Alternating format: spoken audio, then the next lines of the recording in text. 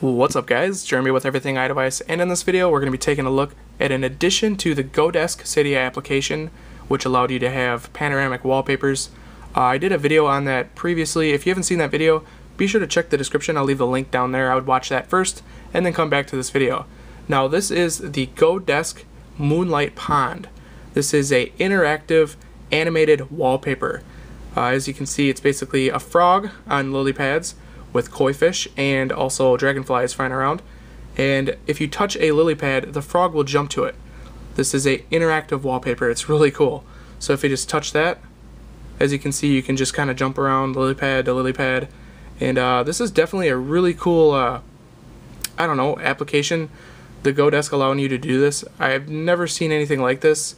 I mean, I forget the name of the other tweak. It was like a, a liquid wallpaper where you could make waves and stuff. This is even more advanced than that considering you can jump around as a frog. Uh, there's no settings for it. You can't change like the color of the frog or anything. It's just a really cool animated interactive wallpaper and I think it's extremely unique. I'm going to go ahead and I'm going to launch the GoDesk application to show you how to use this. Uh, it's really pretty simple. All you do is you download and install uh, the Moonlight Pond and here's the uh, panoramic feature which I showed you in that other video. And then for the Moonlight Pond you just select it click on use. It'll process it. And then voila you're done. That's all there is to it. Now I'm gonna go ahead and I'm gonna show you guys how to get it in Cydia. Just launch Cydia. And just go ahead and search GoDesk Moonlight Pond four separate words.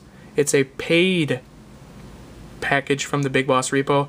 As you can see it's $2.99 but I think this is kind of a hint from the developer of what is to come for the GoDesk application uh, I'm going to assume with this being out that there's going to be more animated interactive wallpapers coming out for GoDesk from this developer. So I think it's something to be very excited for and can't wait to see more stuff from them.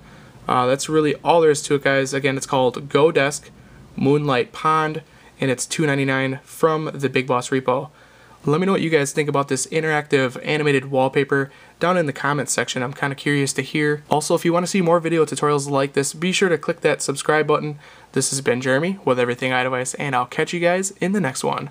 Peace.